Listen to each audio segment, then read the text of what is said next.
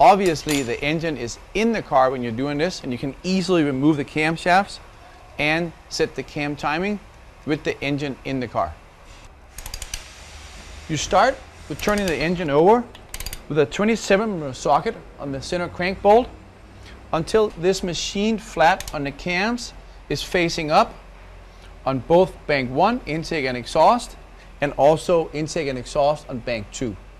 Note, always turn the engine over in a clockwise direction.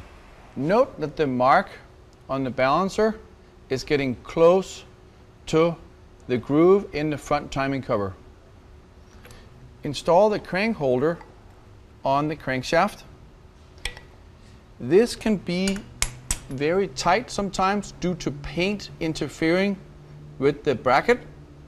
If that is the case, carefully clean off the paint without removing any material from the crankshaft. Install a 10 mm bolt to hold the bracket in place.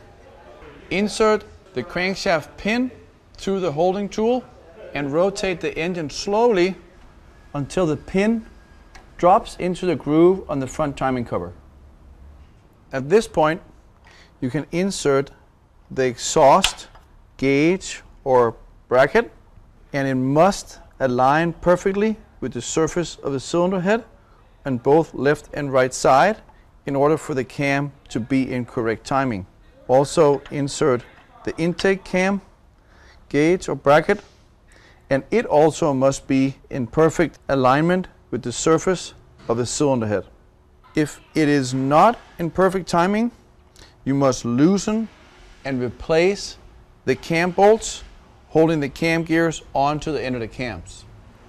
This concludes the camshaft timing checking, not removing and replacing, and that's what we're going to do next. To remove the cams, install the 12 millimeter to 8 millimeter adapter and the plate hold down bar and tighten it firmly by hand. Remove the cam solenoid adjuster assembly. Once the cover is removed, here a really quick trick. Pull out the pin for the crankshaft. Gently rotate the engine in a backwards direction. This compresses the timing chain adjuster and allows you to insert the pin. Now gently rotate in a forward direction back until you can reinsert the pin. This takes all the tension off the timing chain adjuster and you can now freely remove the hydraulic chain tensioner. The pin is holding the piston in the compressed position. You can now, with the cam plates and hold down bracket installed, loosen both bolts on the intake and exhaust cam.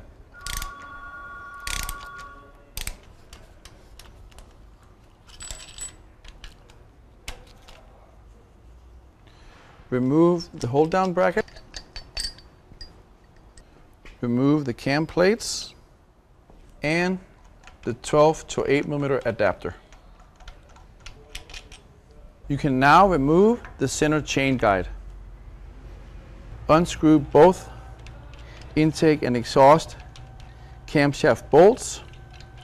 These bolts needs to be renewed when you go back together since they're a one-time use bolt with an angle torque. Now you can remove the intake cam adjuster and the exhaust cam adjuster. To save time in this video, we're not going to cover the removal and installation in the camshafts. It's very straightforward. Once you're going back together, please refer to the instructions that comes with the All German Cam Tool Kit. It has all the specific tightening torques and written down right in the instructions. Too much to remember from the video anyway, and you just have it right there in your hand as you're going through it. Please note, make sure you keep track of the components Used rocker arms may only be used in its original location. Parts location cannot be interchanged. If you're using this video as a reference in regards to how to replace the valve stem seals, Stop the video here. For valve stem seal replacement, view the AGA N63 valve stem tool video. To go back together, pull up on the chain and start with installing the exhaust cam adjuster. Pull the slag out of the chain and install the intake cam adjuster.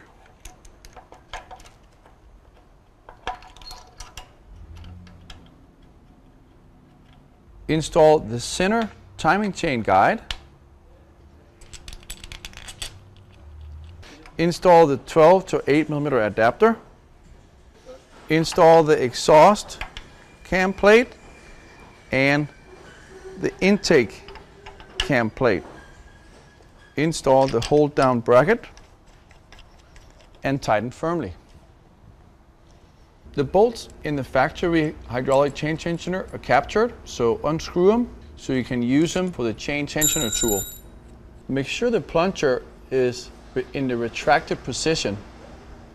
Insert the chain tensioner in place of the original hydraulic chain tensioner and tighten the bolts. Tighten the chain tensioner tool by hand until the slack in the timing chain is taken out. Now you need the AGA gauge tool to preload the tensioner to the correct setting. You tighten the 10 millimeter hex on the chain tensioning tool until the point where the gauge can just be inserted in between the hex piece and the round piece like so. This tensioning tool ensures that the chain is now in the correct tension to set the cam timing. Note, do not over tighten this or continue to tighten past the point where the gauge can be installed. This small tool takes the place of the larger tool that sticks out really far from the engine and also takes the place of the centinewton meter torque wrench needed to set the preload on the chain. So only this tool is needed to replace these two items. This is very significant in some of the models when you're working with the engine in the car since there's cooling hoses, coolant pipes, wiring harnesses, and other items in the way of getting the larger chain tensioning tool into place. Tighten exhaust and intake cam to 30 newton meters or 22.1 foot-pounds plus 90 degrees of rotation on the exhaust and 90 degrees of rotation on the intake. With the chain tensioning tool still installed, remove the hold down bracket